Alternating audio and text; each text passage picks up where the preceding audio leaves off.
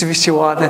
Wydaje się, że jest to spęd bożonarodzeniowy, bo rzeczywiście czas bożonarodzeniowy w Polsce jeszcze trwa jest grupa prawie 100 osób, która przyjechała, żeby jeszcze nauczyć się paru nowych, ale też starszych kolęd w nowych opracowaniach i jeszcze się pocieszyć tym Bożym Narodzeniem warsztaty, tym razem jubileuszowe, bo mamy już dziesiąte w Częstochowie warsztaty muzyki liturgicznej, organizowane tym razem przez Ośrodek Muzyki Liturgicznej w Częstochowie.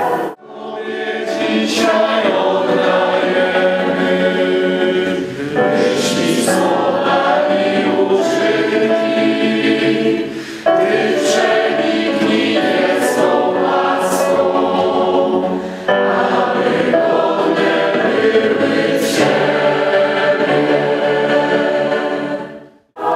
nas jako prowadzących fascynuje w tym, e, w tym obszarze muzyki liturgicznej, niezależnie od miejsca, to jest patrzeć na ludzi, którzy po pierwsze, znając nas dobrze, wracają po raz kolejny, żeby się pocieszyć śpiewaniem, ale też zapraszają swoich przyjaciół, mówiąc im o tym, że warto przyjechać i doświadczyć czegoś głębszego niż tylko brzmienie muzyki.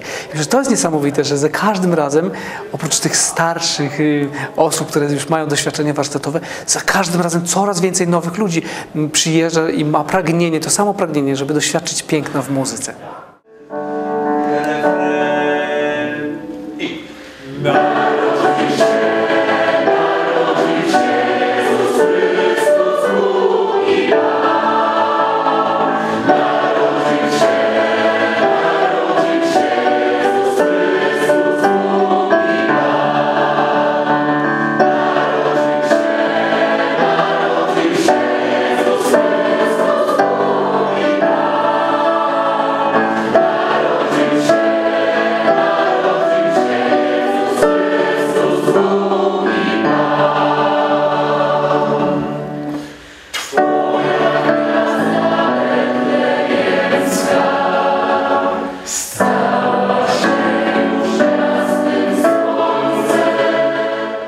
Myślę, że to, to jest najbardziej chyba niesamowite, patrzeć na swoją muzykę, swoje aranżacje, swoje kompozycje, które są wykonywane przez ludzi, których nie znam. To, to jest niesamowite.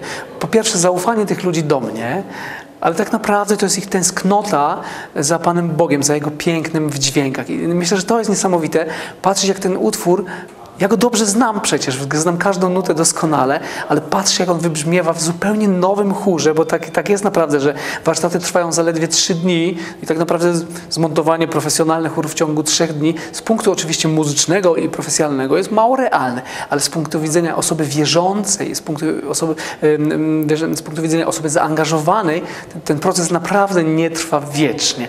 I to, to jest niesamowite patrzeć, jak, jak, jak potrafi się człowiek, który wykonuje tą muzykę, muzykę serca zmienić w ciągu dosłownie chwili z wykonawcy tak naprawdę w świadka tego, e, w co śpiewa. No i to jest najpiękniejsze.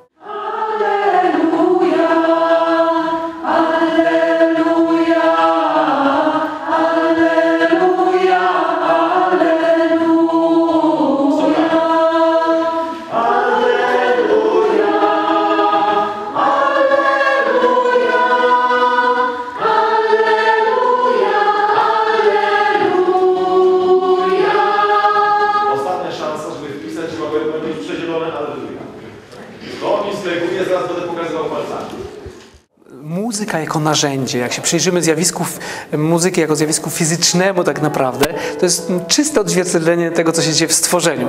W muzyce jest to tyle nie, nie, niewidzialne, prawda, bo muzyka jest takim, takim wymiarem, dźwięk jest takim wymiarem niewidzialnym, natomiast on jest bardzo odczuwalny, o czym nam Pitagoras mówił lata temu już, że poukładał proporcje i okazało się, że, te, że ta klasyka w proporcjach również jest oparta w muzyce. Matematycy nawet mówią, że rzeczywiście muzyka jest częścią matematyki. Tak też działo się w renesansie. I rzeczywiście można, można by się tego trzymać i pilnować tylko struktury formalnej, no ale ona czemuś służy. I dla nas rzeczywiście to, co powiedziałaś, jest najcenniejsze rzeczywiście, że nie muszę być muzykiem wykształconym.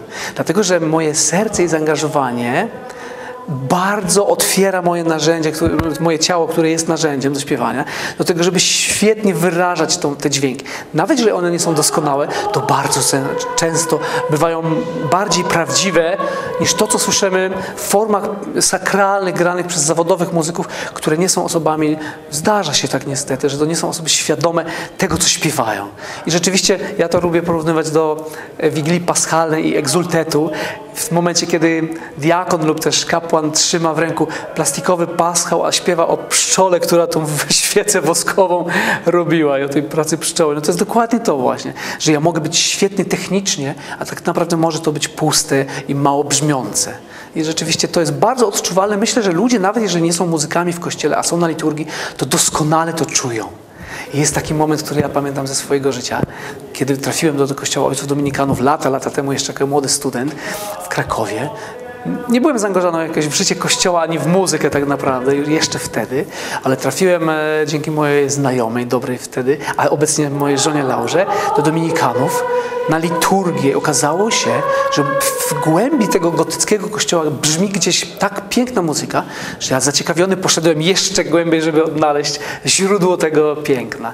I tak to jest, myślę, z osobami z każdym człowiekiem tak może być. Każdy ma takie naturalne pragnienie i poczucie piękna. Myślę, że o to tutaj w tych warsztatach chodzi, że my pozwalamy tym często nieśmiałym osobom, które rzeczywiście mnóstwo swojego serca wkładają w to, żeby to brzmiało pięknie, ale staramy się jednak znaleźć tą proporcję, żeby oprócz tego, że wy- wykazują swoje zaangażowanie, żeby przede wszystkim zaangażowali serce, bo tak naprawdę to też świetnie rozwija warsztat muzyczny. O czym Panu tam mówi? Ona mówi o czymś takim. To jest taki punkt, w którym biskupi mówią tak. Wszystkie grupy muzyczne posługujące w kościele, wszystkie grupy muzyczne powinny mieć swojego duszpasterza, który zabiega o ich stały rozwój duchowy. Zrozumieliście, co powiedziałem? Co to oznacza? Zobaczcie, to jest niesamowita sugestia, że zespoły, które są w kościele, w szczególności w liturgii, to powinny być zespoły zbudowane z ludzi wiary. No i właśnie w tym momencie znajdujemy się w naprawdę fajnych warunkach pracy, bo jesteśmy w e, budynku szkoły, która nam udostępniała świetne warunki do pracy. Także w tej auli, którą tutaj widzimy za rogiem, możemy zmieścić prawie 70 osób śpiewających. No i w tym momencie nasz, e, nasz drogi przyjaciel Hubert Kowalski, świetny muzyk, muzyk e, bardzo wszechstronny, również instrumentalista, kontrabasista z wykształcenia, ale również wokalista, wieloletni wokal- wokalista chóru Polskiego Radia w Krakowie. Widzę, że za, zabrał się za niezwykle ciekawy materiał e, kolendowy, bo jesteśmy w okresie właśnie kolendowym i przygotowujemy się do tego, żeby jutro pośpiewać te kolendy, nie tyle pośpiewać, co się nimi pocieszyć i pomodlić z ludźmi, którzy przyjdą jeszcze przez chwilę poświętować Boże Narodzenie.